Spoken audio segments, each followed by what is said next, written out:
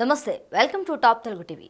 డిమాండ్ల సాధన కోసం చిన్నగా మొదలైన ఆర్టీసీ సమ్మె ఉగ్ర రూపం దాల్చటం ఆ తర్వాత ముఖ్యమంత్రి కేసీఆర్ ఆర్టీసీ యూనియన్లతో చర్చలకు నో చెప్పటం ఆ తర్వాత అటు యూనియన్లు ఇటు ప్రభుత్వం ఎవరికి వారే పట్టిన పట్టు విడవకపోవటం ఇవన్నీ కలిసి చివరికి ఆర్టీసీ మనుగడకు ప్రశ్నార్థకం చేశాయి. కార్మికులు రోడ్డున పడేలా చేశాయి. మరో సంచలన విషయం ఏమిటంటే ఆర్టీసీని పూర్తిగా రద్దు చేసే రవాణా వ్యవస్థను పూర్తిగా ప్రైవేటు పరం చేసే దిశగా ప్రస్తుతం తెలంగాణ ప్రభుత్వం అడుగులు వేస్తుందనే వార్త. తమ డిమాండ్ల సాధన కోసం ఆర్టీసీ కార్మికులు మొదలుపెట్టిన సమ్మె పూర్తిగా చట్ట వ్యతిరేకమని వెంటనే విధుల్లో చేరితే ఆ తర్వాత చర్చల ద్వారా డిమాండ్లు పరిష్కరించుకోవచ్చని మొదట ప్రభుత్వం చెప్పింది. సరిగ్గా పండగ సమయంలో ఆర్టీసీ సమ్మె భావ్యం కాదని ప్రజల ఇబ్బందులను అలాగే పండుగ సమయంలో ఆర్టీసీకి వచ్చే ఆదాయాన్ని దృష్టిలో పెట్టుకొని సమ్మె విరమించాలని అప్పటికే ప్రభుత్వం స్పష్టంగా చెప్పింది. కానీ సమ్మె విషయంలో ఒకే మాట మీద నిలబడిన ఆర్టీసీ కార్మిక యూనియన్లు ప్రభుత్వ ప్రతిపాదనను తిరస్కరించింది. సమ్మె తప్పదని వెంటనే తమ డిమాండ్లను పరిష్కరించాలని పట్టుపట్టింది సరిగ్గా పండగ సమయంలో సమ్మె మొదలు పెడితే ప్రజల నుంచి వచ్చే విమర్శలకు భయపడి ప్రభుత్వం దిగి వస్తుందని యూనియన్లు భావించాయి. ఈ రకమైన ఆలోచన ధోరణి ముఖ్యమంత్రి కేసీఆర్కు నచ్చలేదు. దీంతో ఎన్ని రోజులు సమ్మె చేసినా ప్రభుత్వం దిగి వచ్చే సమస్య లేదని తేల్చి చెప్పారు.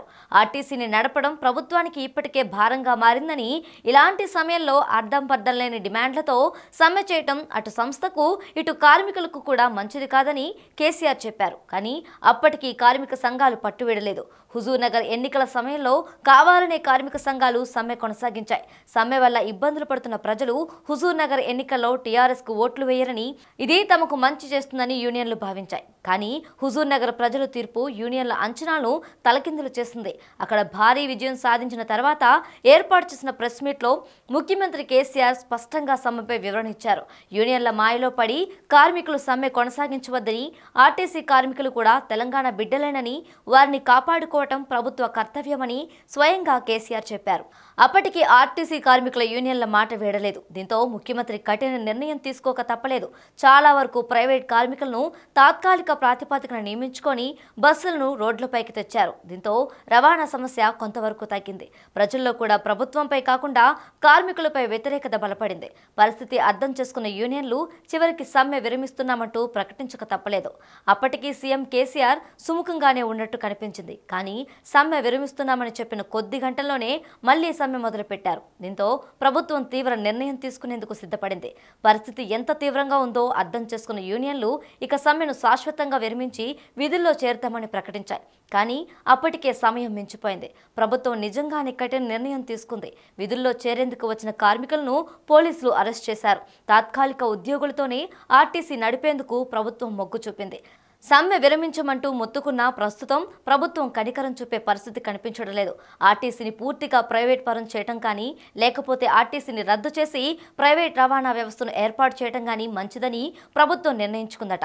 ప్రభుత్వం తీసుకున్న ఈ కఠిన నిర్ణయంతో ఇప్పుడు కార్మికులు రోడ్డును పడే పరిస్థితి నెలకొంది. ఇప్పటికే రెండు నెలలుగా జీతాలు లేక అప్పులు పాలైన ఆర్టీసీ కార్మికులు ఇప్పుడు ఏకంగా ఉద్యోగాన్ని కోల్పోవాల్సిన పరిస్థితి నెలకొంది.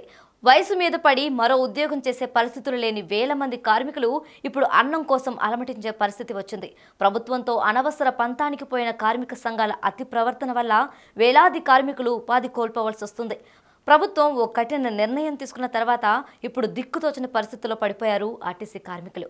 యూనియన్ల అతి తెలివితనానికి బలైన కార్మికులను ఆదుకునేందుకు ప్రభుత్వం ఓ మెట్టు దిగి వస్తుందా? లేక వాళ్ళ కర్మ అని వదిలేస్తుందా? అనేది ఇప్పుడు తేలాల్సిన విషయం.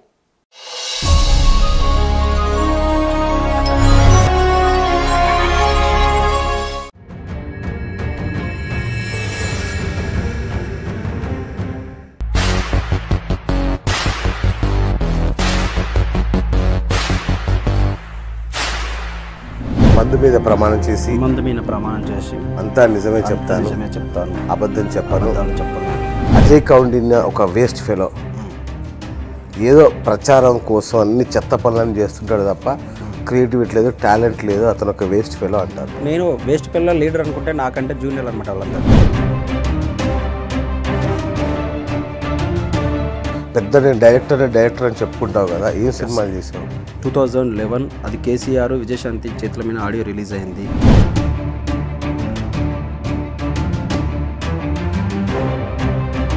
ఏ సినిమా పెద్దగా ఆడింది లేదు రూపాయి వచ్చింది లేదు కదా. ఆ, మీకు ఇంత పబ్లిసిటీ ఎట్లా? అదే పి- చూసే వాళ్ళందరూ పిచ్చోళ్ళు. మన టాప్ తెలుగు టీవీ షేర్ చాట్లో అలాగే డైలీ హండ్ న్యూస్ హ్యాప్స్లో కూడా ఉంది. ఫాలో అవ్వండి. ఇంతకీ మా ఛానల్ సబ్స్క్రైబ్ చేసుకుంటారుగా? గంట కొట్టడం మాత్రం మర్చిపోవద్దు Hello guys, this is Vinay Kuya. Hi నేను మీ Sonakshi Varma Hi, this is Avantika. This is Daystar Gopal. please uh, like, share, and subscribe to please subscribe it Please subscribe to Please subscribe to like, share, and subscribe to Top Telugu TV. Top Telugu TV. Top Telugu TV Top Telugu TV. Top Telugu TV.